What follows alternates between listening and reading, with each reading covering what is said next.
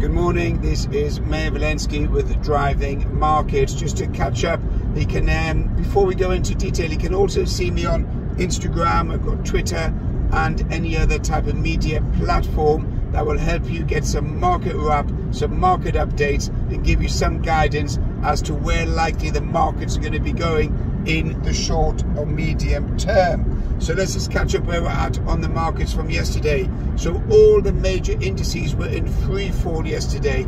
The Dow, the Nasdaq, the S&P, European markets, Asia, all completely collapsed. The Dow had fallen more than 1,200 points.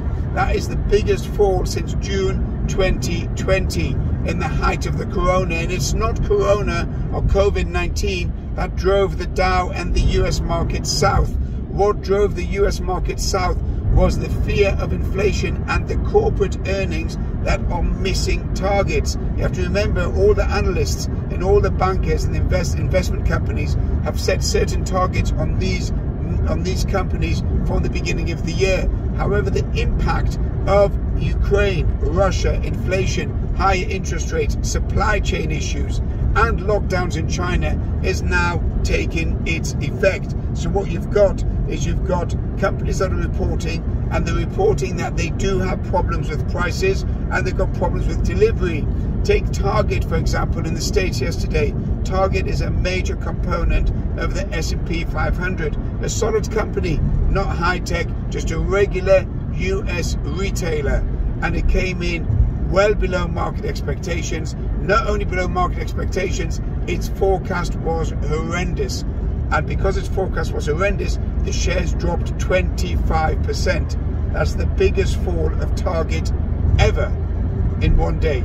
25% and that was the leader that pulled all the S&P shares and the S&P index down everything followed on from there so target is an indicator of where the other corporate earning companies where the other companies are going so corporate earnings are expected to be at risk due to what I said high inflation and high interest rates and that caused the bulls to run away and hide and the bears came out raging and they pushed the market down. Now what's interesting on the Dow, the Dow closed below the important level of 32,000 and the overnight futures are only up 50 points. So we're expecting much further, much greater further falls in the near future. I've been saying this since January, the market trend is down and you must pay attention to the trend. What do they say in the banks? They say the trend is your friend. And therefore, you've got to look at where the trend is going. The trend overall in financial markets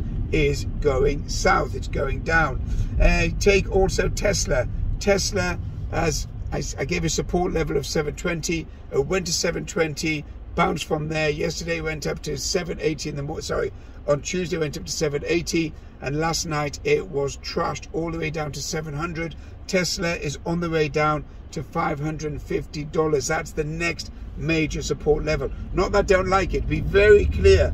I do like Tesla and I love Elon Musk, but Tesla is going to be a victim of the rout that's going on in the Nasdaq at the moment. And why is the Nasdaq being routed? Why is it being hammered? Because Nasdaq is a high growth, high risk area. And the minute you've got uncertainty of inflation, interest rates, corporate earnings, growth, where the economy is going, recession, then investors naturally will pull out of the high investment area. And what they'll do, they'll put it into more solid investments, things like gold or things like bonds or things like the dollar. Look at the greenback. The greenback, the US dollar, has just shot up against a basket of currencies and is likely to go higher. One, for safety reasons, and two, because rates in the US are going to go higher, much higher than the UK and Europe, and therefore there's going to be a flight to the US dollar based on a better return and based on the fact that it's going to be a safe haven.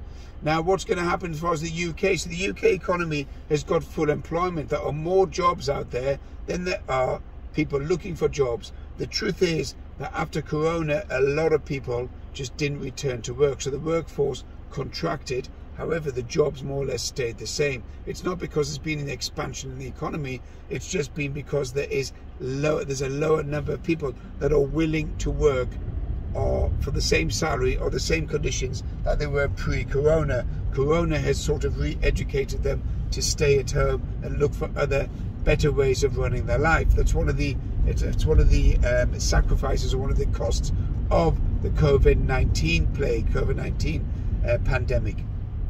What else have we got? Look at Bitcoin, cryptos.